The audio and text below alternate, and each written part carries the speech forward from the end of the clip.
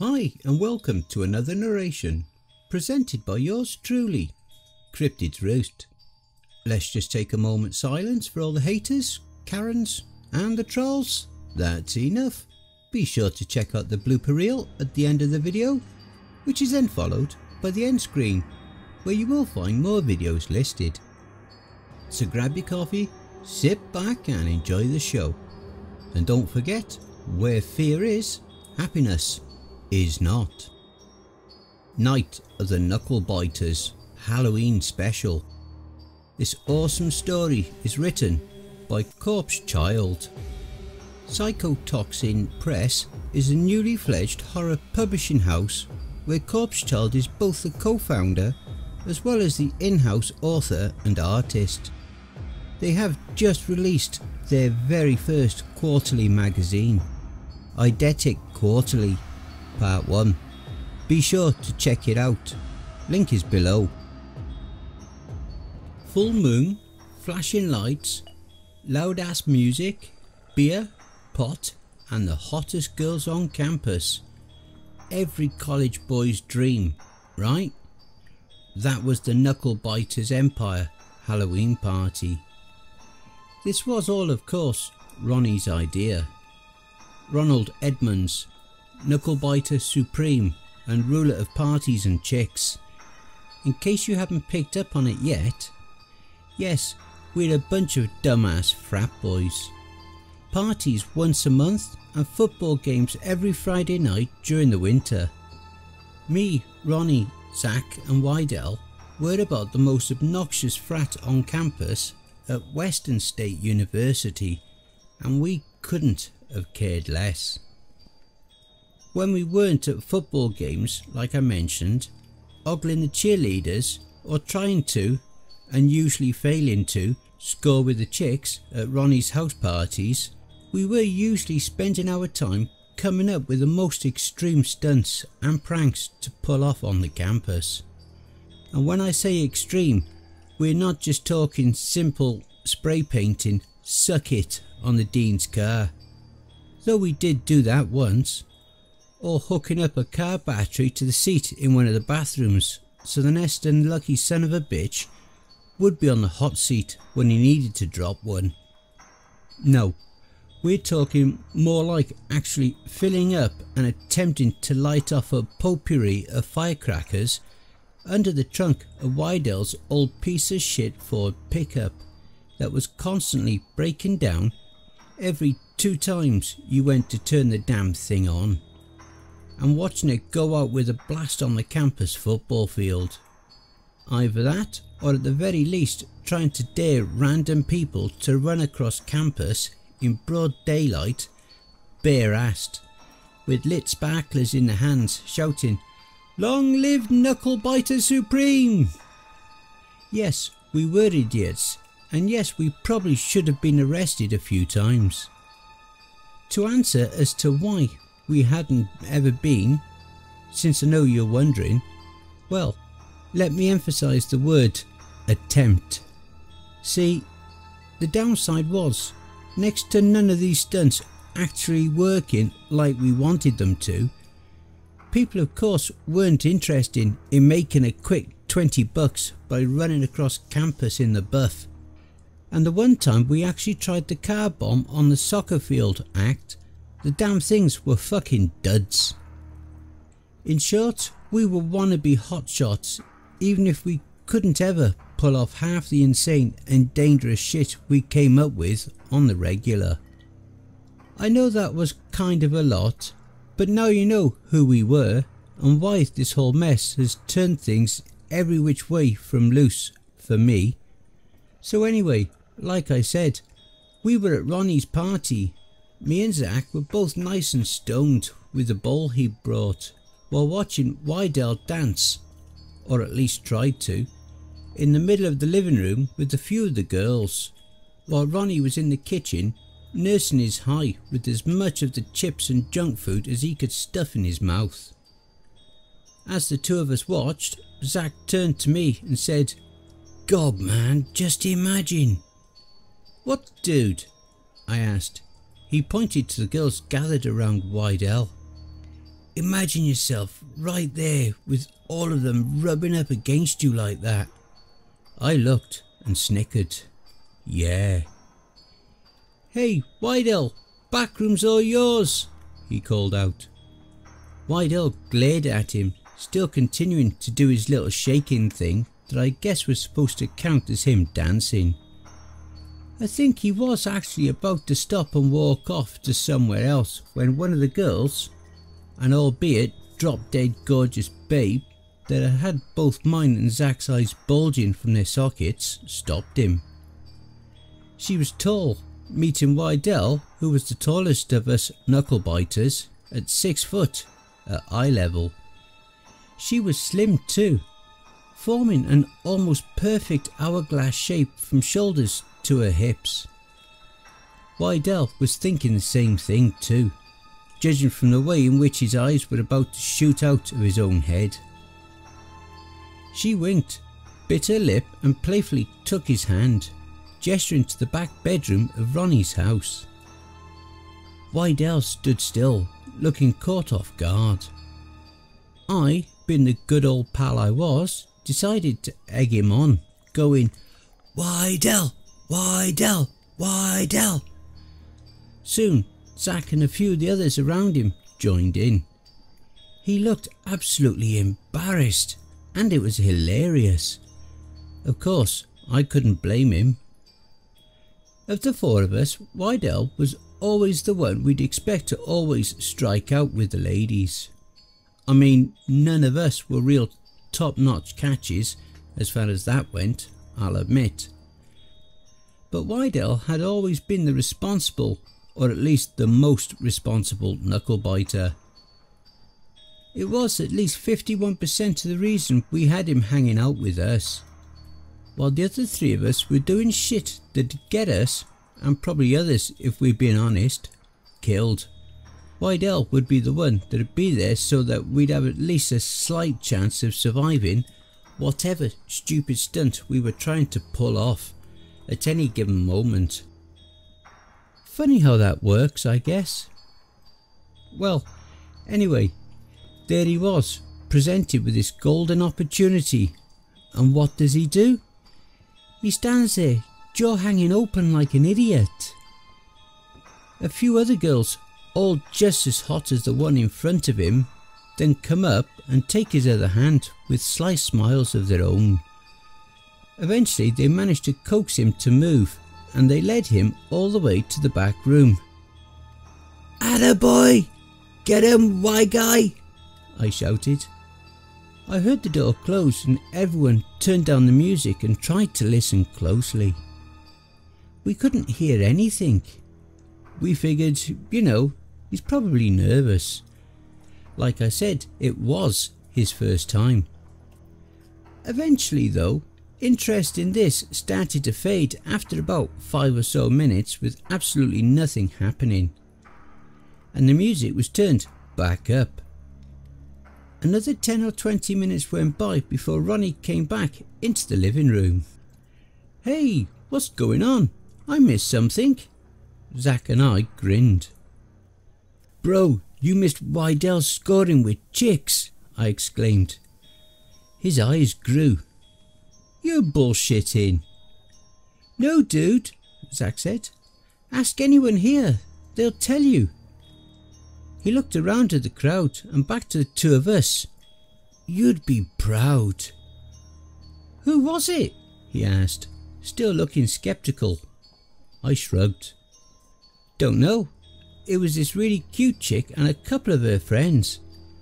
I haven't ever seen them before. I don't even think they're actually from the campus. His eyes got even bigger with shock. Friends? he exclaimed. You mean to tell me he actually landed more than one at the same time?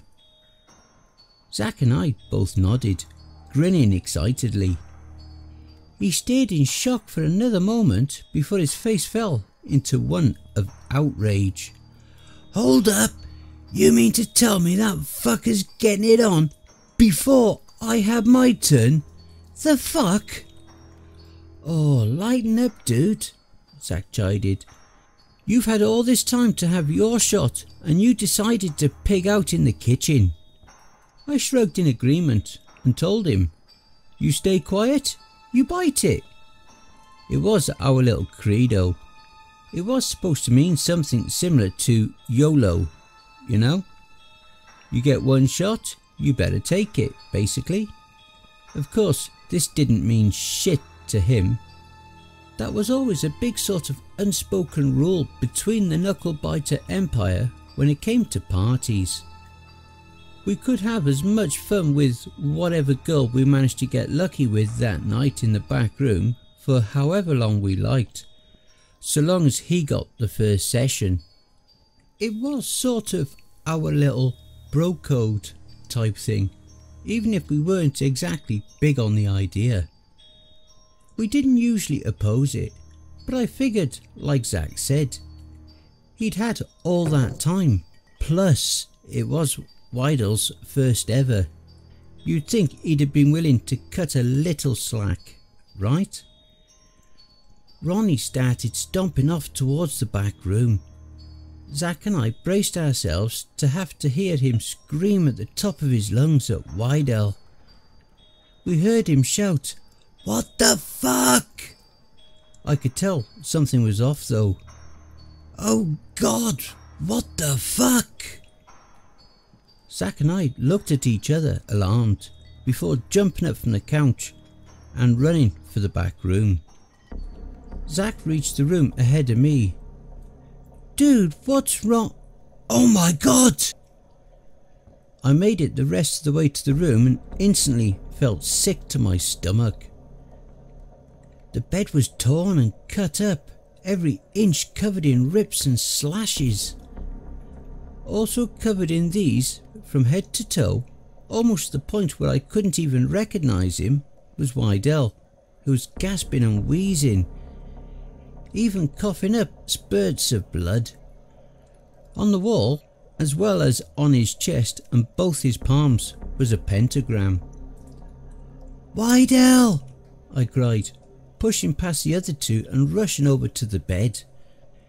Zack turned and retched while Ronnie just stood frozen in the doorway. Wydell weakly spasmed while spitting out bigger and bigger spurts of blood. Why? Stay with me, man. I turned to the others and shouted, What the fuck are you standing there for? Go! Get 911 on the phone! We can't, dude, Ronnie exclaimed. What do you mean we can't? Dude, are you trying to get us busted? He held up the joint he had behind his ear. He's gonna fucking die if we don't. He still remains stiff. Dude, trust me, this is a hell of a lot worse than a fucking possession charge. Get the ambulance on the phone. Now! I stared wildly at him, making it clear that I was gonna put my foot in his ass if he didn't. Reluctantly, yet desperately, he ran back into the living room to call 911, while also clearing out the rest of the guests. Zach, Grab me a towel! He ran to the bathroom and came back with an old, dirty towel. Here, help me plug his wound. Which one? he asked. I looked around. I almost wasn't sure, given how much his body had been ripped up. Finally, I told him to wrap it around the pentagram on his chest. I carefully then tried performing CPR. I didn't know what else to do. Besides that and trying to prop his head up, never really had much knowledge of first aid. Sure enough, this at least got him to stop coughing up blood. He continued wheezing.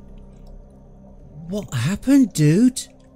Zack asked Wydell, as if he was going to actually be able to answer that. Wydell gasped harder and harder like he was actually trying to speak. Nothing came out though. Ronnie came running back into the room. Okay, they're on their way. Is he gonna be? Don't know yet. Is everyone else gone? Yeah. Wydell's body began to relax and his eyes started to glaze over with his head lolling limply to one side. Why? I said, shaking him gently. Wydell, come on man, stay with me. I could feel his chest relaxing under my hands. He wasn't going to make it much longer. I started shaking him harder. Wydell! Wydell! I then resorted again to chest compressions, stopping every 10 to 15 seconds to give him mouth to mouth. Nothing seemed to be working. His heartbeat was so faint by that point that I almost didn't feel it, despite how hard I was pressing. In what I considered to be a true stroke of luck, almost even the work of a miracle, I heard the sirens outside. That's them, Ronnie said. I'll let them in. He and Zack then rushed out of the room into the living room, leaving me alone with a rapidly fading Wydell.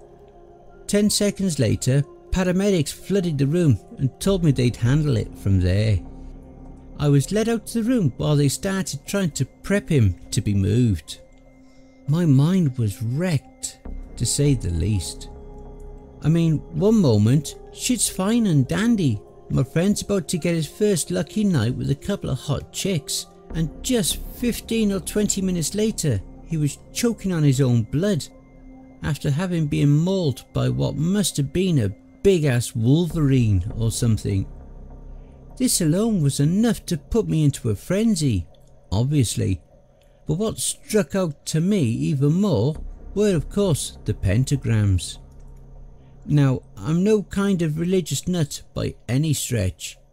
I grew up atheist, but I wasn't born yesterday.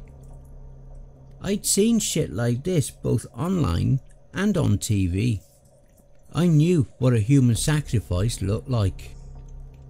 Not only this, but I also saw the window wide open in the room while I was trying to revive Wydell. One thing I knew for a fact was that Ronnie never opened that window. Usually so he could keep the weed fumes contained whenever he was having one of his turns with the back room. And because I also knew no one was in there at the time.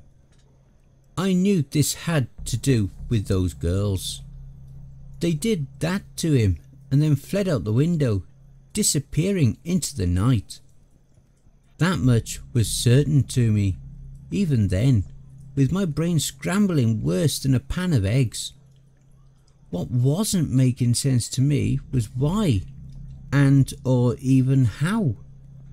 Okay, so maybe the chicks were part of some crazy murder cult or something. Again, that'd maybe explain the pentagrams. But even still though, how the hell could they have done that to him? Wydell was then rushed off to the hospital as police then arrived at the house. The rest of that night was spent being interrogated by the police.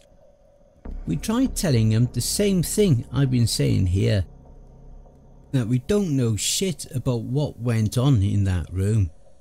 But it was still another 4 or 5 hours of them assaulting us with questions before they finally let us go home. Zach, Ronnie and I split up from there. With them, at least I assume, going back to the campus while I decided to head to the hospital to check up on Wydell. Admittedly, I wasn't sure what I was supposed to expect, other than to hear that he didn't even make it there. I guess it was relief then that I stood corrected when they told me he'd actually stabilised. The doctors told me he was asleep and had been for the past three hours.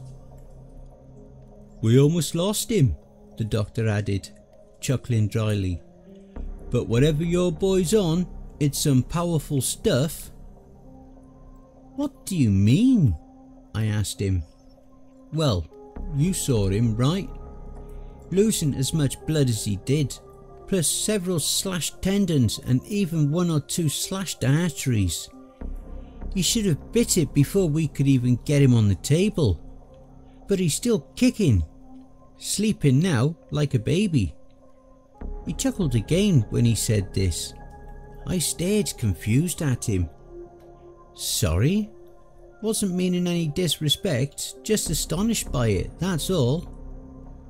Yeah, okay, whatever. Can I see him? He looked at his watch. Afraid not, pal, he said, looking up at me, tapping his watch. Come back in about six hours. With that, I turned and left back towards the campus. On the way back, I texted Ronnie and Zach, telling them Wydell had made it and it was okay. Ronnie texted back. Thank God. What do you think could have happened? I texted back, telling him, fuck if I knew. You must have really wanted it rough, huh? Dude, what the fuck? Our boy is put in the hospital and you're making jokes.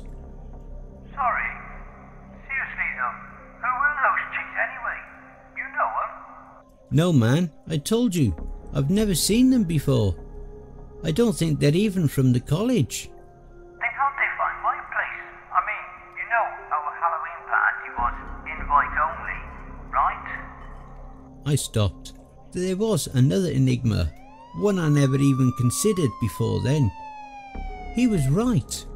We, or at least me and Ronnie, had only told a select few people that we were even having that party at his house that night. And whoever we did allow on the guest list, we made sure all four of us knew about it. We also explicitly stated the whole invite only thing to the guests, meaning that they weren't allowed to bring anyone else in on it either. Well, again, that's how me and Ronnie did anyways. That led me to wonder then, who, if not me or Ronnie, knew them and invited them? The only options were either A. Wydell himself or B. Zack. I told this to Ronnie. I doubt Zack would have known. I'll ask him though. After that I drove back the rest of the way to the campus and headed back to my dorm where I crashed out of sheer exhaustion. Despite this though, I didn't sleep well. I couldn't get the image out of my head of seeing Wydell splayed out across Ronnie's bed like that, all hacked up with pentagrams all over him.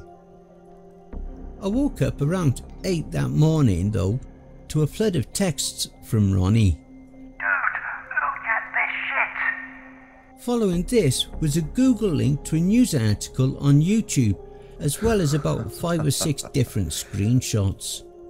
Each one was of the hospital. One or two of them looked like the inside of some of the rooms all torn apart.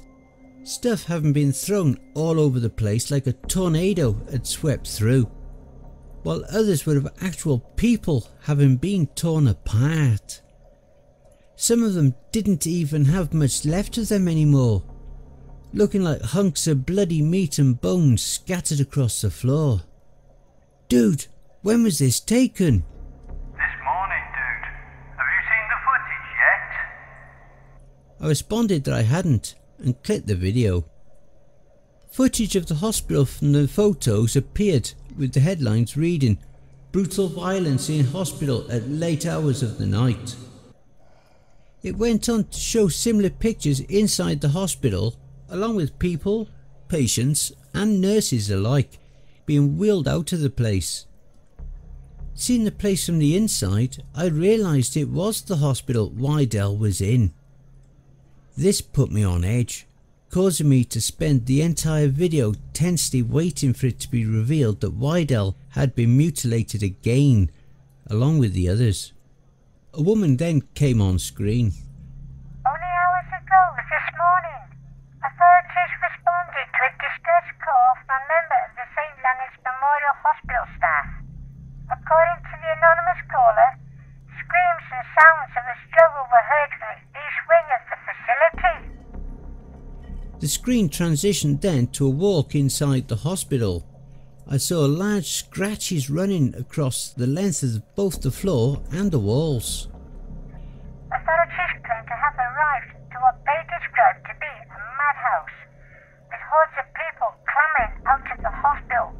lives. Police officer Gordon LeVay is quoted in saying that the situation was nothing short of utter chaos. It then cut to the officer. It was wild, he said. We pull up and we couldn't even get into the parking lot because people were scattered all over the place. It took us almost 20 minutes to be able to calm enough people down to even get into the parking lot. It cut back to the reporter. When asked what happened inside, this is what Officer LeVay had to say. It cut back to Officer LeVay. When we could finally get someone to calm down long enough to even talk to us, the most consistent detail we could make out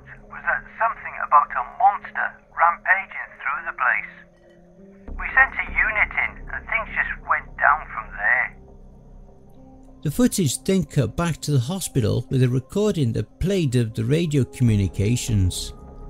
For about the first minute or so, it was typical back and forth chatter between inside and outside units. Suddenly though, I could hear the inside unit starting to panic as growling noises picked up in the distance. From there, it devolved into chaos with the inside crew shouting frantically for backup and firing their guns in a frenzy, and ground crew trying to discern what was going on. The chaos escalated when just about all I could hear from the inside unit side was screams of pain and the growling turning into straight up roaring. Hearing this made my blood freeze solid. My body was stiff. I couldn't even move my eyelids to blink.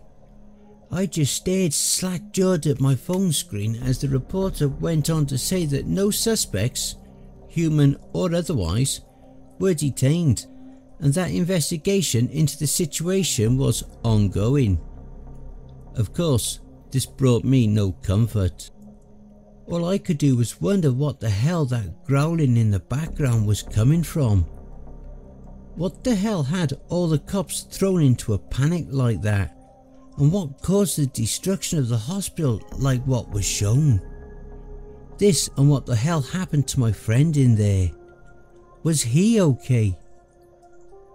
Immediately after the news clip ended, I texted Ronnie back, telling him I'd watched the news clip. Dude, what was that?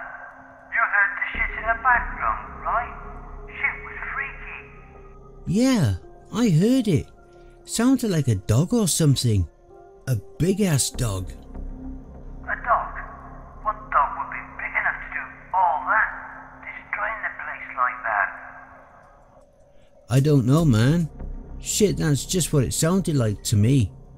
I mean, it's obvious whatever the fucking thing was, wasn't a person. True. Still though, I don't actually know how it could have even got in. I mean, how could it have just busted in like that? Aren't there usually some kind of security staked out at the place? The hell you asking me for? You knew about this before I did. Yeah, but you were there last night, weren't you? I stopped. He was right again. I was there only hours before this all took place. Everything was fine, both when I arrived and when I left. But then, where did this thing come from? And how did I or nobody else see it? Yeah, I was.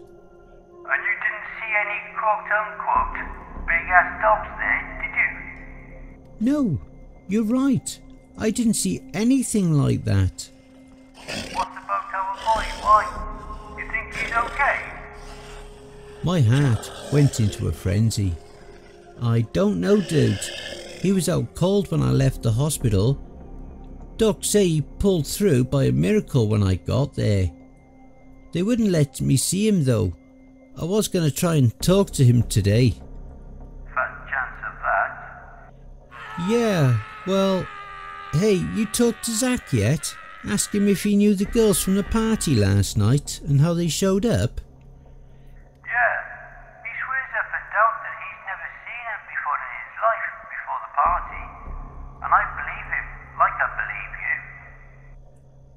Yeah, but then how could they have known then? Dude, you don't think maybe What? that maybe Whitehall might have Serious? Wydell? I'd sooner believe it was you that did it before him. Besides, why would he invite chicks over just to mutilate him like that? Well, I mean, if he did know them, I doubt it was because he wanted to get freaky with them like that. Hell, you saw the pentagrams, right? Occult shit, you know? Yeah, I've been thinking about that. You think that's why they were at the party? To perform some sort of human sacrifice? Possible. Why Wydell though? I don't know, man. Hell, all I know is I didn't invite them. You didn't invite them, and Zack didn't either. That would have had to leave him. And now there's whatever the hell this thing on the news was.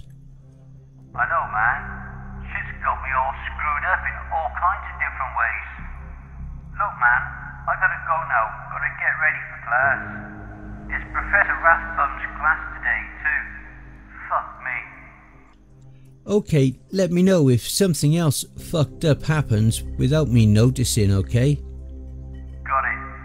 Also, see if you can talk to Wydell. See how he's holding up and if he knows anything. I'll try, dude, although I don't know how I'd be able to do that. Why not? Well, weren't the patients moved last night when they were evacuating?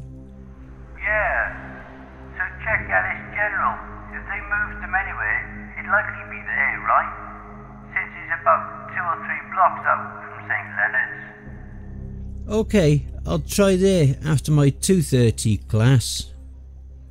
After that, the conversation ended and I looked at the clock. It was only 10.30. I decided to spend the rest of the time looking into both any possible satanic cults that might have been well known in the area, as well as asking, for good enough measure, a few of the approved VIPs for the party, if maybe one of them knew the girls and or might have decided to invite them against the rules. On that end, I got more or less the exact same answer that I gave to Ronnie that they'd never seen or spoke to either of the girls before the party that night.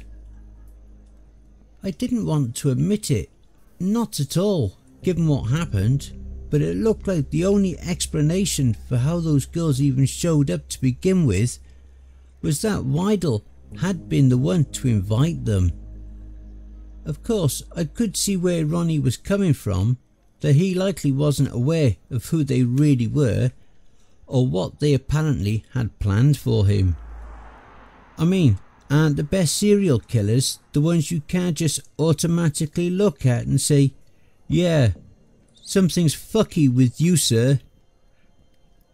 But even still, that begs the question of how he'd have even known them to begin with.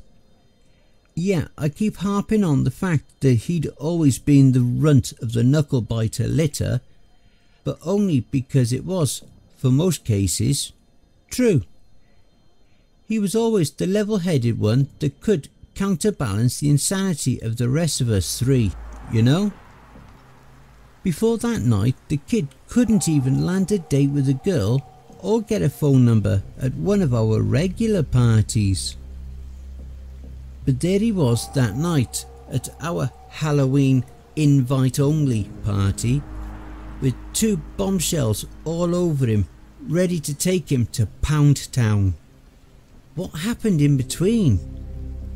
I'd have believed in it being a stroke of luck or twist of fate if it hadn't ended with him being flayed alive on my friend's bed like that. Another thing that struck me out of nowhere something I hadn't even considered before. Now of course, I'm no kind of expert on witchcraft or black magic or any shit like that. I'm atheist, but why didn't they finish him that night on the bed?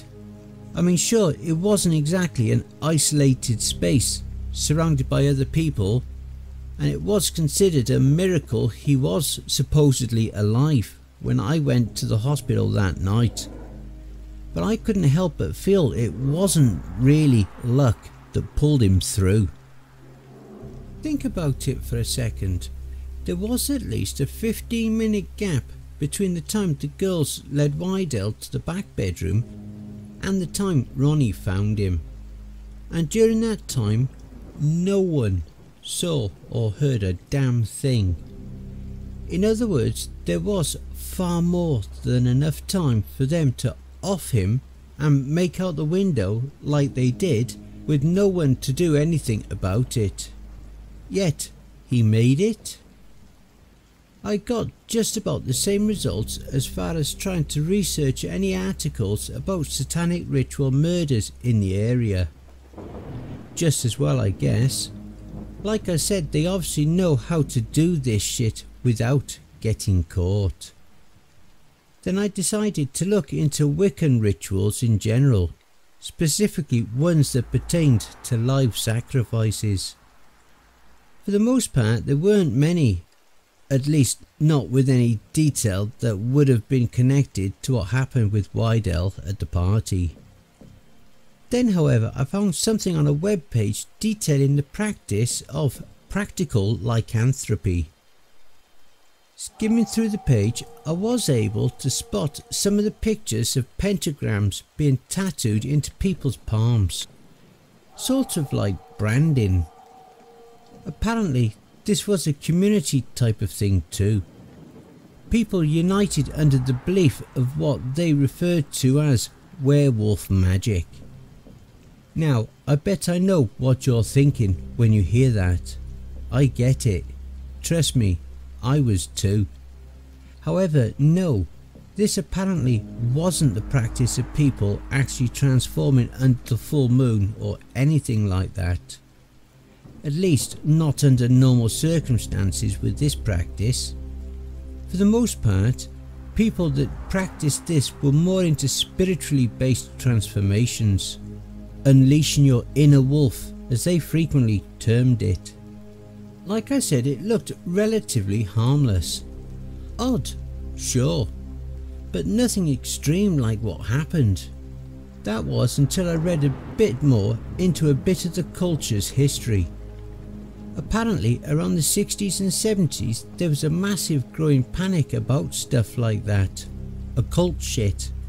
Similar to the Salem witch hunts, apparently people carried a growing panic about werewolves. From what little bit I'd read, apparently one of these supposed werewolf cults, as the post referred to them as, was a cut above the rest in terms of putting their practices into motion. In other words, like what you're probably expecting here, this particular cult was less interested in connections with nature or becoming one with their animal spirits and more interested in populating the earth with werewolves. When I tried to look though, the post didn't mention any of the cults or any members in specific by name. All that was there was a short blurb about their little master race of werewolves plan and how they apparently went underground almost entirely after supposedly causing such a panic, with thousands of people having been found mutilated almost beyond recognition. Though their method of introducing others into the fold was just as interesting. I read that this cult apparently observed a specific ritual where they fully embrace their bestial nature, embracing their rage and, and unbridled savagery, and exact their brutality upon the new pledge until he or she is close to death, by which they will flee, leaving the pledge to embrace their own savage nature in order to not only save themselves, but also integrate into their pack. I'll admit I was lost reading this. Keep in mind the normal practice of practical lycanthropy was an oddity to me. Now here I was reading some shit you'd expect to see in a shitty 80s movie. Yet how the hell was I supposed to deny it? As bad shit as any of this sounded to me, I couldn't lie and say it didn't add up. Wheels started turning as a chill crawled up and down my back. It was all coming together. The pentagrams, with the site listing the marks on the palms being a telltale sign of a werewolf practitioner. The fact that Wydell was still alive, despite major blood loss, and the fact that the girls had ample time to finish him off. And most of all, the way he was apparently recovering so quickly. What was that in the hospital? By that time, it was time for me to head into class. As you could imagine, I couldn't pay attention to a damn thing the professor was saying. Fortunately, I think it was only a review day anyway. Afterwards, I made a beeline for Ellis General Hospital. It was around 3.30 when I got there and I walked to the desk and asked the receptionist to see Wydell. Name? She asked, disinterested. Greg. Last name, too, sir. I sighed. I didn't have time for this. Dyers. Gregory Dyers. Wydell Lawrence is my friend and I want to check in on him. So can you please take me to him? She just gave me a blank look before rolling her eyes and typing on her keyboard. Let's see. Wydell Lawrence. You said his name was? I nodded. Yeah. Sorry, sir. I'm afraid we don't have anyone admitted here with the name Wydell Lawrence. My eyes went wide. What do you mean he isn't here? I exclaimed. She just shrugged, still giving me that annoyed look. Are you sure you checked through all the patients' names? She sighed and turned the computer monitor to face me. Look here. She pointed to a search bar and typed in Wydell's name.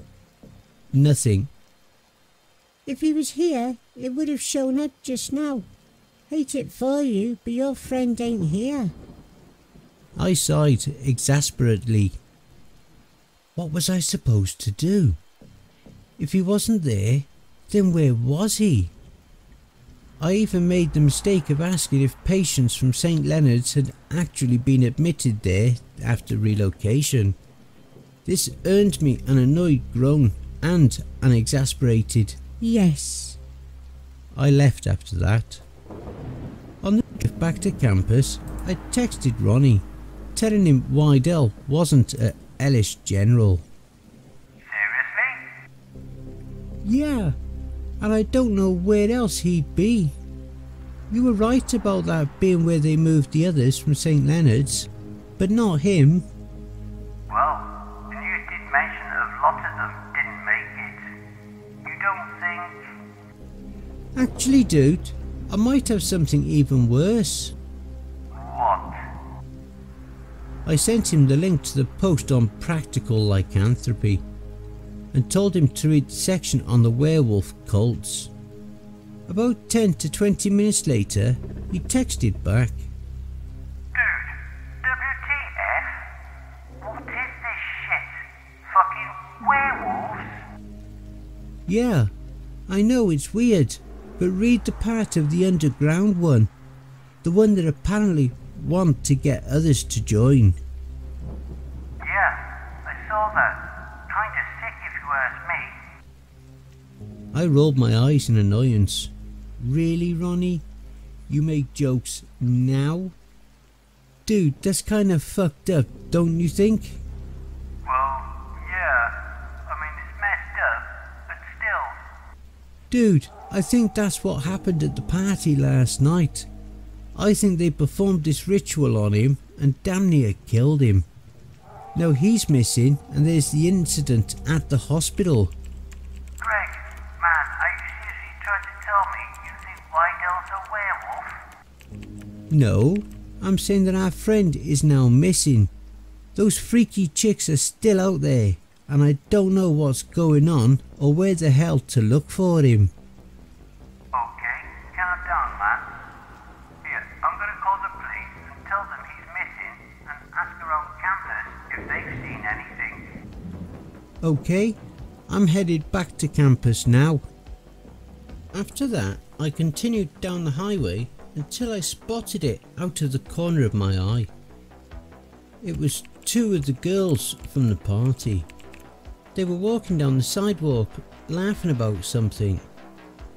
Because I was so caught up with them, I almost didn't catch the fact that several cars in front of me had all of a sudden stopped at the red light. I ended up slamming on the brakes, narrowly avoiding rear-ending them. After catching my breath, I watched the girls continue walking into the nearby grove that was just a few miles out from the college. A thought occurred to me then. That must be their little meeting place. That must have been where they ran off to that night after attacking Wydell. Then I wondered what if they know where he was now. This in mind I decided to pull off and follow after them. Their pace was admittedly faster than I would have expected, but that also meant it would be easier for me to tail them without being seen. I followed them across the bridge and into the grove. They kept a steady pace ahead of me, just enough where I could still see them, but not enough for them to notice as long as they faced forward. They kept walking deeper and deeper. The further I went along, the more clustered I noticed the trees were, blocking off more and more of the light from bleeding into the grove. It got harder and harder to see both the girls as well as the actual road ahead of me. While I still had decent enough lighting, I pulled out my phone and snapped a picture of the two girls and sent them to Ronnie, telling him I'd found them and that I believed that they were hiding somewhere in the grove. I was shaken up from my phone, however, when I thought I saw a large shadow zip across the trees at the right of me. It was fast, and at first I thought it was simply a trick of the light or something. The girls were still directly ahead of me, slowly walking deeper and deeper until I could just barely even make out their outlines. Looking at the clock, I saw in panic that it was already getting on for 5.45. The sun would be going down soon, and with as much dark as it was already, it was gonna be a pain in the ass to try and navigate without turning on my headlights, thus giving myself away to the witch girls ahead of me.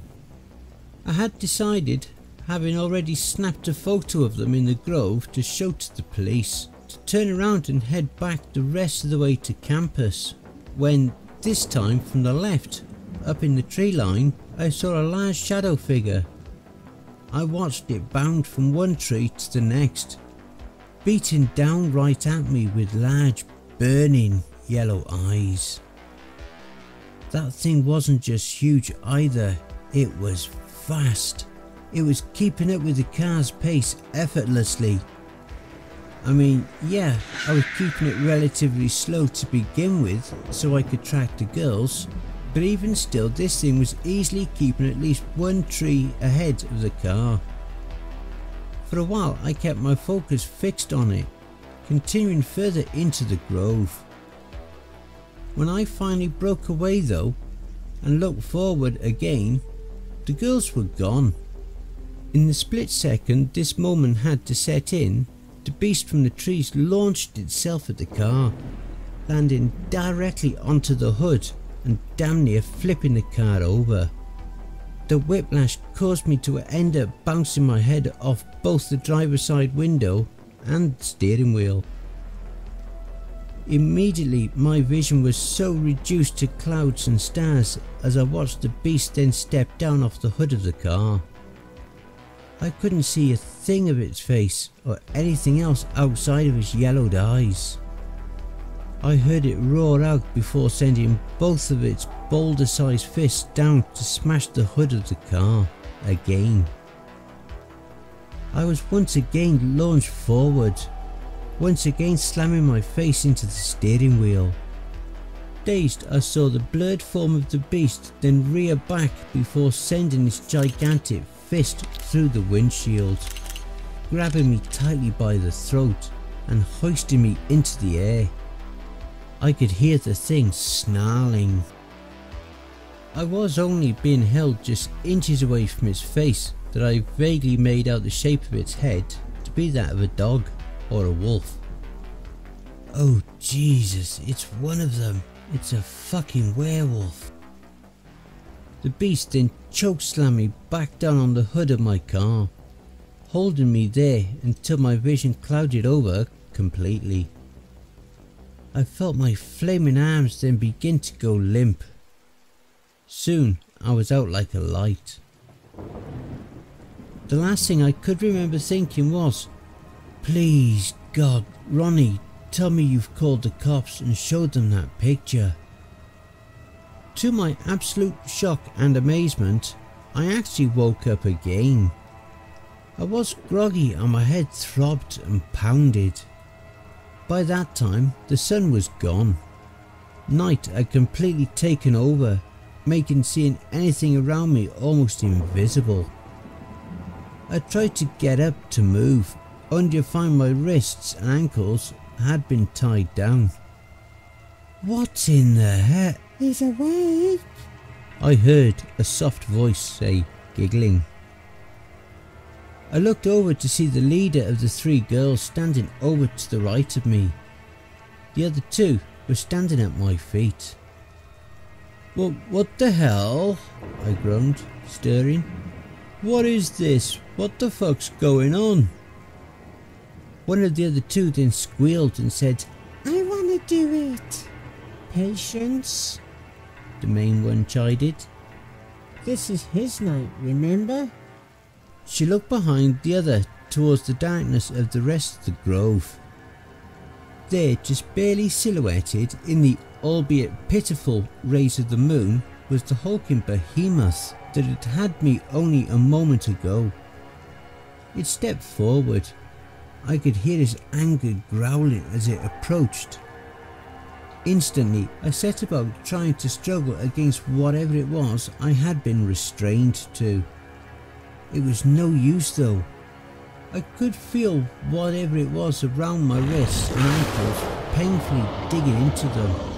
I figured they must have used piano wire or something to tie me down where they did. Hey, let me go! What are you doing? What do you want from me? My mind and body both were locked in a frenzy. The main girl closest to me grinned deviously. Scared. One of the other two squealed. The beast walked closer and closer. I could start to feel its hot snarled breaths from about a foot away. I don't think he'd make a good addition to the pack. The other of the two said condescendingly. Enough. Main girl snapped. He will make a fine addition. He just needs to embrace, that's all. Just like any of us. The other two nodded to her in agreement before looking back at me and grinning. "E- embrace? I exclaimed. But what? What are you talking about? What are you doing with me? The same as what we do for the world. Main girl said smoothly. What? The beast was leering over me now. We are setting the world free. Setting humanity free. Free from what? From itself. You live in fear and in weakness. We are going to set the world free from this by adding the world of humanity. Raising up a new generation of the peoples much better, much more elevated than human beings.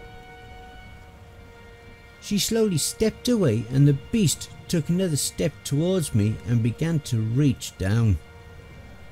I started to struggle again, trying to keep from being grabbed. When you remember the starving beast within you, you'll see then. You'll see what will happen for you, like it did your friends here. My eyes grew at this. So, so it's true.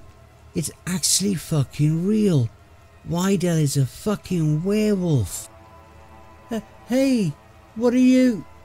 I let out a cry of pain, cutting me off, when one of the beast's claws delivered a stinging slash across my cheek.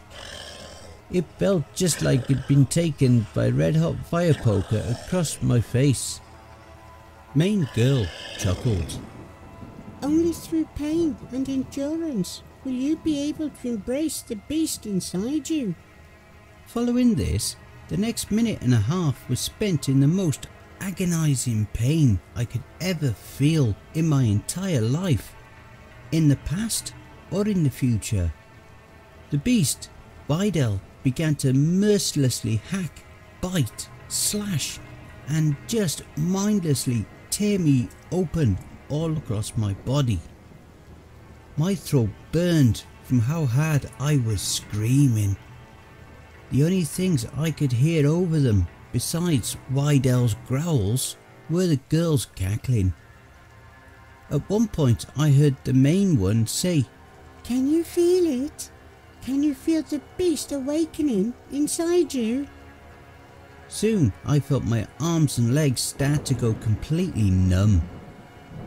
My vision blurred once again, and soon dark clouds formed across the outlines of my eyes.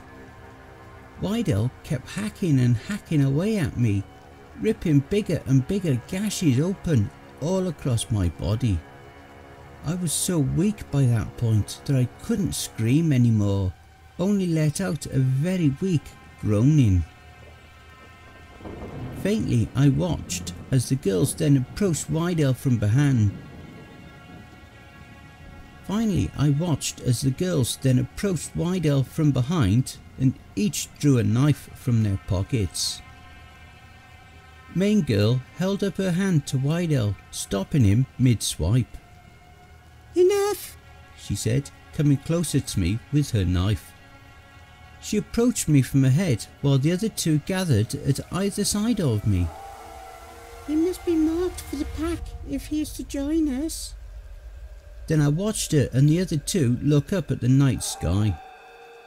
The full moon shone down upon the five of us in the grove, managing somehow to bleed all the way through the trees. That's when I watched the three of them begin to transform. They groaned and cried out in pain and adrenaline as I saw their bodies break and reshape themselves until they themselves were giant wolves like Wydell. Then the four of them were all leering down at me with yellow eyes. In unison the four of them raised up and howled at the moon.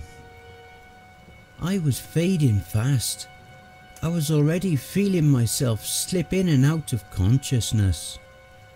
Then, with two of the she-wolves at my right and left, the main one in the centre at my feet alongside Wydell, I watched them plunge their knives down into both my hands and my chest and begin dragging the blades into the pattern of the pentagram. Despite being weak and my throat being shot all to hell from Wydell's assault, I couldn't hold back from letting out a shrill cry of pain as they slowly and agonizingly did this. When they finished, they once again rose up and howled at the moon. By that point, pain, blood loss, and just sheer exhaustion took effect over my body and I faded out completely. This time, I was sure that would be game over for me. Unfortunately though, as I'd find out just a few hours later, it wasn't. When I woke up it was to bright fluorescent lights and the steady sound of an EKG monitor beeping. To my right was a tray of different surgical implements, some of them being caked in blood, indicating they'd been used while I was out. My head throbbed horribly and when I went to move I found my wrists to be strapped to the bed. Before I could panic wondering what the hell the deal was, the door to the room opened and a nurse walked in. Well, look who's awake. She said cheerfully, giving me an admittedly cute little smile. How are you feeling, hun? I groaned, like my head's in a frickin' blender. She giggled. I tried to raise up my wrists where she could see, asking, Hey, uh, what's the deal with this? Her smile fell slightly. Well, She began, noticeably hesitant. see, when we brought you in, you were, well, let's just say you were restless. She chuckled awkwardly as she said this. Restless? I asked. She looked at me again, more noticeably a bit more anxious. What are you talking about? Restless? How? Hell, how did I even get here? Her eyes were fixed wide on me. You don't remember anything? I closed my eyes. The last thing I could remember was the werewolves howling at the moon and carving the pentagrams into me. Of course, I couldn't exactly say that to her, could I? Instead, I told her that I just remembered going into the grove and blacking out after a big ass dog attacked me. A huge stretch of the truth, but at least a hell of a lot more believable, right? You don't remember anything after that? She asked nervously. No, I don't. What happened? Before she could go any further, the door opened again and two police officers walked in. Could we have a minute? One of them, a tall and extremely stocky one, asked. The nurse nodded and got up to leave. He then turned to me and said, Gregory Dyers? he asked. I nodded. My name's Officer Cordell, and this is my partner, Officer Tanner. Officer Tanner nodded to me, looking concentrated. Now, Greg, Officer Cordell went on, I can see you've been through quite a lot. He whistled. I take it whatever happened also probably screwed your head a bit loose as well.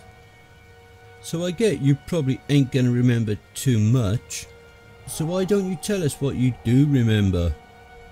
I... I was following these girls into the grove.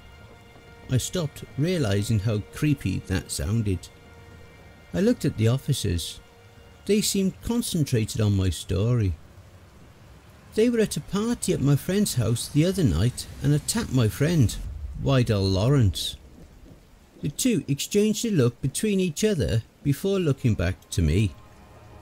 Go on, Officer Cordell prompted.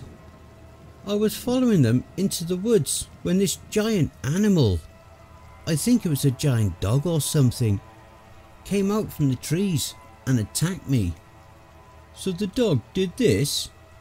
He pointed to the pentagrams. No, they did. The girls? I nodded. Was this before or after the dog attack? Officer Tanner asked. After. Look, the dog or wolf or whatever it was attacked me and when I woke up the girls had me tied down and were performing some sort of human sacrifice ritual or something.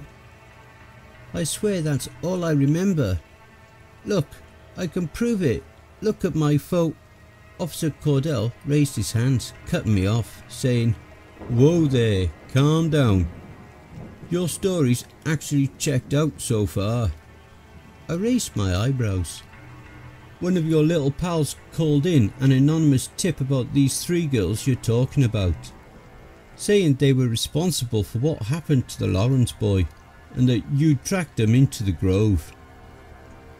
Nice one, by the way, but next time maybe don't try to do it alone, eh? Okay, but then why am I strapped to the bed? He exchanged another glance to Officer Tanner, similar to the nervous glances the nurse had been giving me earlier. Well, like I said, we took your friend's tip and tracked you into the grove. When we did, at first you were out cold. I figured we were too late, as cut up as you were. Out of nowhere though, when ambulance tried moving you, you just up and went berserk. My eyes widened. But what do you mean by berserk? I mean berserk. You started growling, scratching, even bit a chunk out of two of the ambulances. Took me and two other officers just to hold you down long enough for one of them to hit you with some tranquilizer before they brought you here. My heart fell into my stomach. I looked at my palms again, seeing the pentagrams staring back up at me. Exact their brutality upon the new pledge until he or she is close to death, by which they will flee, leaving the pledge to embrace their own savage nature in order to not only save themselves but also integrate into their pack. No, no, no, no, no. Oh God. You okay there, son? Officer Cordell asked. I didn't answer. I just kept staring at my palms in horror. The officers then stood up and turned to leave. Officer Cordell placed a card on the table next to me. Give us a call if there's anything else you... Wait! I blurted. The girls! What happened with them? You guys caught them, right? Officer Cordell's face and sigh of disappointment gave me the answer. They were still out there. He told me they were going to continue scouring the grove looking for them, but that it wasn't entirely likely they'd find them there, knowing now the place would be under investigation. They left after that. This was yesterday. I've been here, laid up at Ellis General since then. I haven't heard anything from Ronnie or Zach. They still don't even know about Wydell. They still think he's either missing or was killed in the attack at St. Leonard's. I'm not sure I could tell them the truth about it either. Like I said, I'm no kind of believer in spiritual transformation or whatever the hell it was called, but I know what I saw in the grove that night. What's worse, now I'm one of them. They've taken me in as one of them now, just like they did with Wydell.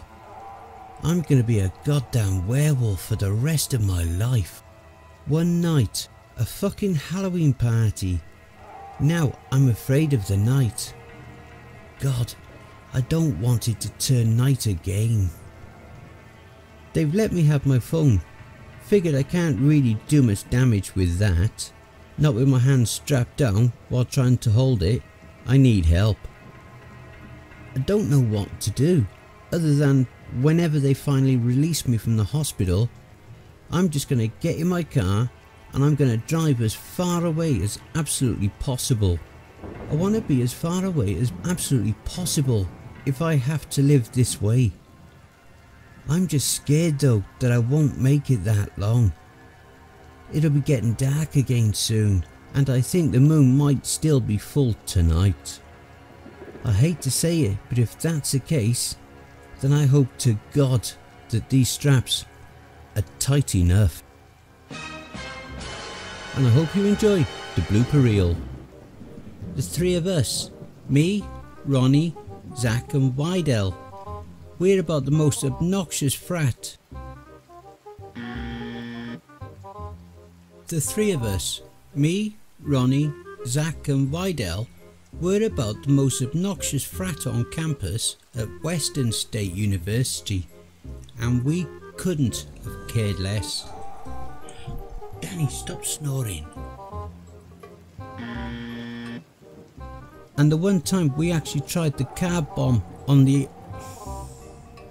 Mm. Don't know.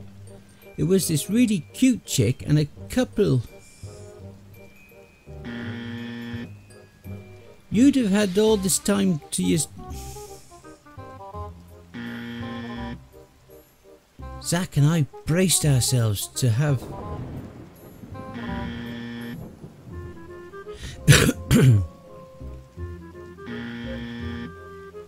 His heartbeat was so faint.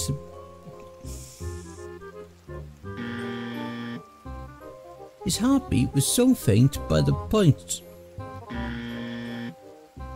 Fuck's sake. I knew this had to do with the, those girls. Fucking hell.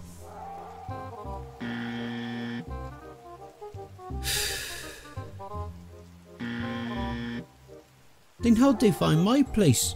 I mean, you know our how... Fucking hell. To a flood of texts from Roddy.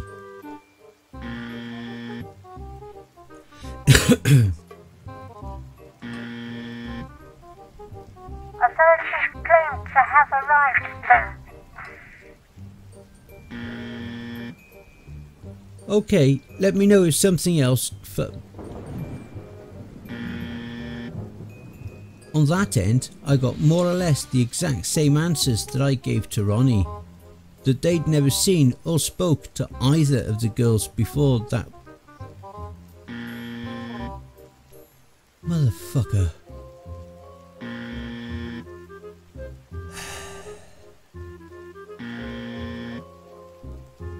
Skimming through the page, I was a.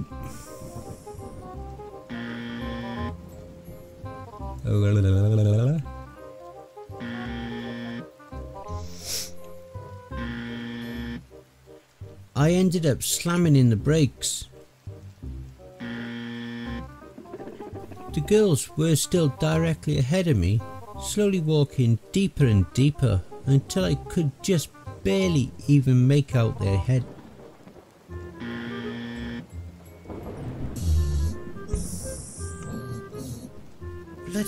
Shut up.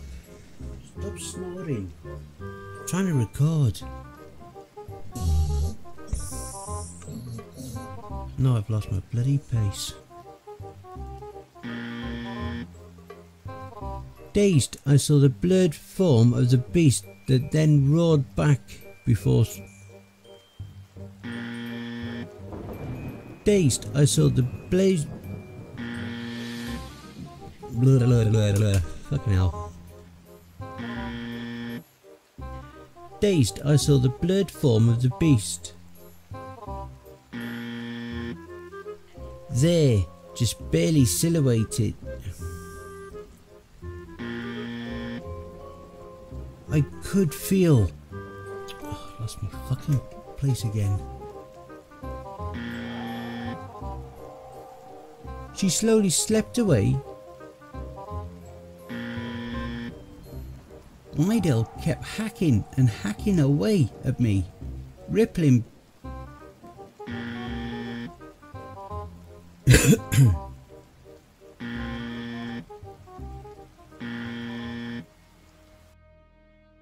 Hey family, please be so kind as to throw punch the like button and smack the ass of the subscription button as well. And remember to chokehold that notification bell and then select all. That way you'll receive all notifications each time I upload a new video. And by subscribing you'll be the first to see all of our new spooky creepypasta stories. A very big thank you to Corpse Child for allowing me to narrate this awesome story. Make sure to check out their Reddit profile for more brilliant stories. And be sure to take a look at the playlist here for more of their stories that I may have already narrated. I would just like to say a very big thank you to all of the authors that I have worked with and all the ones that I will work with in the future. So thank you all, my brothers and sisters. And why not hashtag Cryptids Roost in your comments. A quick thank you to all of my Cryptid's Roost community family too. We are now well on our journey to 1000 subscribers. So please spread the word and help us to grow and expand. And don't forget to share the videos too. If you would like to throw me a dollar or three, I'd be very much appreciative. I do have PayPal, paypal.me slash cryptidsroost. Alternatively, I have an account at buymeacoffee.com. You don't even need to register on either site to donate. You can also follow us at my Facebook group, Twitter and Instagram. I also have Ko-Fi, BitChute and Rumble. I have a subreddit if you have a story you would like me to narrate for you. All relevant links will be below. And don't forget to check out the end screen, see above, that will also list some more videos in my back catalogue. Take care everyone and I hope you all have a wonderful and peaceful night. And don't forget, where fear is, happiness is not.